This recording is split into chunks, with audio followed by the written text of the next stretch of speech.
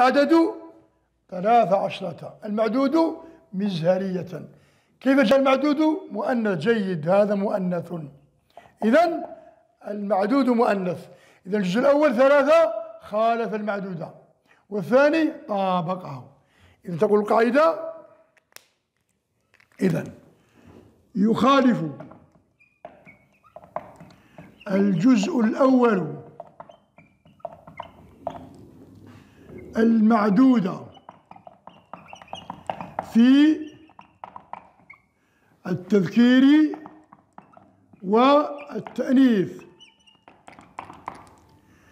ويطابقه ويطابقه الجزء الثاني جيد. ويطابق